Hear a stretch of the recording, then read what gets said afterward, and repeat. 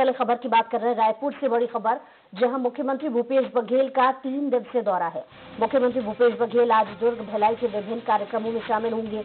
आज रात आठ बजे दिल्ली होंगे रवाना और दिल्ली में आला नेताओं से मुलाकात करेंगे। तीन दिसंबर को शाम सात बजे दिल्ली से विमान द्वारा रायगढ़ पहुँचेंगे और चार दिसंबर को जसपुर के अंग्रेज़ी स्कूल का निरीक्षण कर आम सभा को संबोधित करेंगे। और इसी पर ज़्यादा जानकारी के साथ शिवम मिश्रा हमारे साथ लाइव जुड़ गए हैं। शिवम, कार्यक्रम को लेकर के क्या जानकारी है?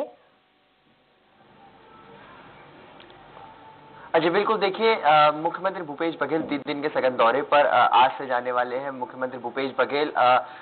बोला जाए तो तीन दिनों के दौरा जो है ये काफ़ी महत्वपूर्ण माना जा रहा है। तमाम निजी कार्यक्रमों में शामिल होने के साथ ही भूपेश बघेल जो है प्रदेश वासियों को सौगात देने वाले हैं। मुख्यमंत्री भूपेश बघेल डेढ़ बजे यहाँ से हेलीकॉप्टर द्वारा रवाना होकर भिलाई और दुर्ग में तमाम निजी कार्यक्रमों में शामिल होने के बाद वे लोकार्पण और शिलान्यास के कार्यक्रमों में शामिल होने वाले जिसके बाद शाम रायपुर लौटने के बाद नौ बजे यहाँ से विमान द्वारा दिल्ली रवाना होंगे और ग्यारह बजे वे दिल्ली पहुँचने वाले और दिल्ली में पहुँचने के बाद रात्रि विश्राम करेंगे भूपेश बघेल, जिसके बाद कल ये संकेत जताए जा रहे हैं कि भूपेश बघेल की आला कमान के साथ ही तमाम वरिष्ठ नेताओं के साथ मुलाकात हो सकती है। प्रदेश प्रभारी पीएल पुनिया के साथ भी मुलाकात हो सकती है। और ये जो मुख्यमंत्री भूपेश बघेल का दिल्ली दौरा है, ये काफ़ी अहम माना जा रहा है। इस वक्त छत्तीसगढ़ में मैं आपको बताना चाहूँगा कि निगम मंडलों की दूसरी सूची को लेकर के, कार्यकारिणी के विस्तार को लेकर के तमाम राजनीतिक सरगर्मियाँ बढ़ चुकी है यहाँ पर। और लंबे समय से इंतज़ार कर रहे कांग्रेस के कार्यकर्ताओं को एक बार फिर इससे एक अंदाज़ा हो गया कि जल्द ही निगम मंडलों की सूची जारी हो सकती, क्योंकि कल जो गोपनीय बैठक रखी गई थी मुख्यमंत्री निवास पे कांग्रेस के बड़े संगठन के बड़े नेता वहाँ पर शामिल हुए थे, समन्वय समिति के जो सदस्य वे सभी मुख्यमंत्री निवास में गोपनीय बैठक में शामिल हुए इसके बाद बाहर निकलते ही बैठक के खत्म होते ही लंबी बैठक चली, पाँच घंटे की मैराथन बैठक के बाद मोहन मरकाम बाहर निकल के बयान दिए कि दिसंबर तक सभी नियुक्तियाँ कर दी जाएँगी। दिल्ली लास्ट एक्सरसाइज हो चुकी है निगम मंडलों के नामों पर और जो सूची है उसे दिल्ली भेज दिया जाएगा। दिल्ली से मुहर लगकर कभी भी निगम मंडलों की सूची जारी हो सकती है।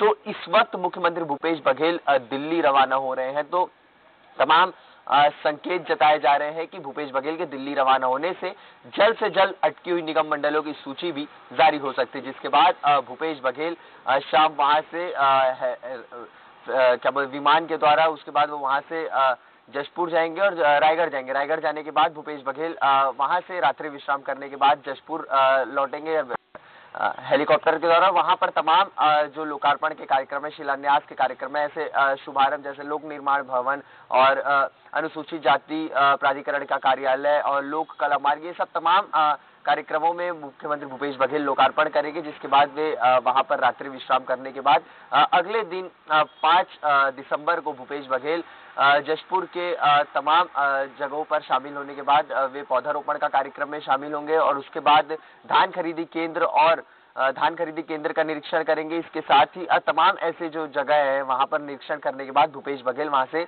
बाय रोड बिलासपुर लौट जाएँगे।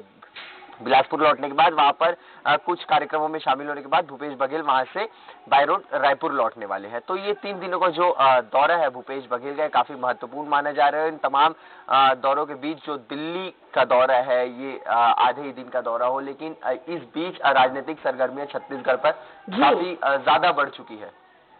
शिवम आप हमारे साथ बने रहिए आपके पास लौट के आएँगे।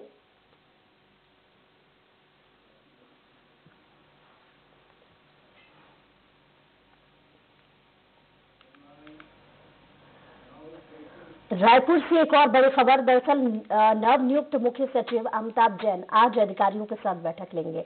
नए सीएस आज योजनाओं की समीक्षा भी करेंगे और योजनाओं की पूरी जानकारी के साथ साथ अफसरों को बैठक में जाने के निर्देश दिए गए हैं। मुख्यमंत्री की प्राथमिकता वाली योजनाओं पर फोकस किया जाएगा और प्रदेश में संचालित होने वाली महत्वाकांक्षी योजना की क्रियान्वयन और धरातल स्थिति के संबंध में सचिवों से जानकारियाँ लेंगे। नरवा गुरवा घुरवा बारी मुख्यमंत्री स्लम स्वास्थ्य सहायता योजना गोबर खरीदी सीएम हाट बाज़ार क्लिनिक और जल जीवन मिशन जैसी विभिन्न योजनाओं का आकलन करेंगे और उसके हिसाब से अधिकारियों को दिशा निर्देश देंगे। तो नए सीएस किस तरीके से आ, काम को सुचारू रूप से ढालने के लिए क्या क्या निर्देश दे सकते हैं और किस तरीके से बैठक आयोजित होगी? बैठक में कौन कौन मौजूद होगा? शुभम क्या इसको लेकर के जानकारी मिल पा रही है? अच्छा बिल्कुल। देखिए जिस तरीके से आरपी मंडल जो है उनका रिटायरमेंट हो गया था। रिटायरमेंट के बाद आ, जो नए मुख्य सचिव बनकर के सामने आए अमिताभ जैन वे पदभार ग्रहण किए। पदभार ग्रहण करने के बाद आज पहली बैठक अमिताभ जैन की होने वाली है जो तमाम राज्य सरकार की योजनाओं को टटोलेंगे उनकी नब्ज को पहचानेंगे और किस तरीके से योजनाओं का छत्तीसगढ़ पर क्रियान्वयन हो रहा है चाहे वो हम्म। गोबर खरीदी की बात हो चाहे वो हाट बाज़ार की बात हो चाहे वो मुख्यमंत्री स्वास्थ्य योजना की बात हो तो आज जो है ये आज काफ़ी बड़ी बैठक मानी जा रही है मुख्य सचिव की और पहली बैठक भी है तो इसमें तमाम जो योजनाओं से जुड़े हुए अधिकारी है उन्हें इस बैठक में शामिल होने के निर्देश दिए गए हैं और ये बैठक ऐसी संकेत जताए जा रहे हैं कि वर्चुअली बैठक हो सकती है। आज मुख्य चीफ सेक्रेटरी के ऑफ़िस से बैठक शुरू होगी आज दोपहर और उसके बाद ये जो तमाम योजनाएँ हैं इस पर बात करेंगे। उसके बाद ही जिस किस तरीके से क्रियान्वयन हो रही योजनाओं का तो ऐसे आ, काफ़ी सारी योजनाओं को हर हर एक योजनाओं पर बातचीत की जाएगी। सीधे आ, अधिकारियों से बात की जाएगी तमाम चीज़ों पर जानकारी ली जाएगी। तो इस बैठक के बाद ये अंदाज़ा लगाया जा रहा है कि एक अपने तरीके से नई शुरुआत करने वाले अमिताभ जैन अपना पदभार ग्रहण करने के बाद। जी चलिए बहुत शुक्रिया तमाम जानकारी के लिए शिवा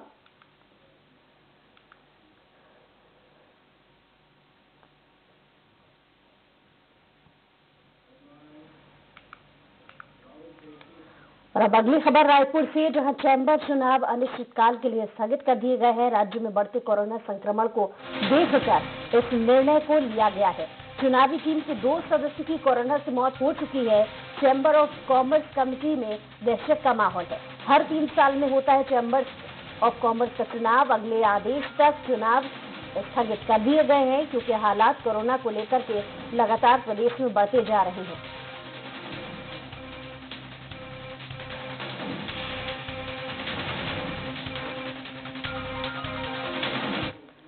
अगली बड़ी खबर भी रायपुर से आपको बता रहे हैं, जहाँ छत्तीसगढ़ में पिछले 24 घंटे में अठारह सौ तिरानवे मरीजों की पुष्टि हुई है। राजधानी में 245 नए संक्रमितों की पुष्टि हुई है। राज्य में बढ़ रहा है, मौतों का आंकड़ा भी। यानी पिछले 24 घंटे में 28 लोगों की मौत हो गई है तो वहीं इलाज के दौरान सत्रह सौ मरीज़ स्वस्थ हुए हैं। रायपुर में दो सौ पैंतालीस नए मरीज़ मिले हैं। कोरबा में दो और बालोद में एक नए कोरोना मरीज़ मिले हैं। प्रदेश में संक्रमितों का कुल आंकड़ा बढ़कर दो लाख उनचालीस हज़ार दो सौ पंद्रह आरोप पहुँच गया है। वहीं राज्य में सक्रिय मरीजों की उन्नीस हज़ार तीन सौ तैतीस पर संख्या पहुँच गई है।